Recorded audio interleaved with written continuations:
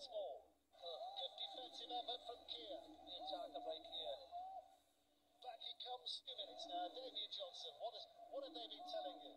Soaking wet down here, as you say, Dave. Didn't know you cared, actually. Uh, John Kear at half time, but happy with the defensive effort, particularly on the goal line. And we've seen uh, evidence of that at the start of this uh, second half. Need to be better with the ball, uh, finish our sets more strongly. Need such a boost going into the quarter final. There's a big defensive effort from Papua Wales can't get off the line. They're pushed back behind the line. It means they have to drop out underneath their sticks. It means all things being equal. And remember, this is a very wet night, but Papua New Guinea should get the ball back here. Yeah, another set. Can imagine going to go short here as well. Bang it as long as you can. They're taking as long as they can. There's a shot clock which tells them they've only five more seconds to take this, but they're taking as long as they can to get the oxygen back in the lungs. Because it's another way of Papua New Guinean attack,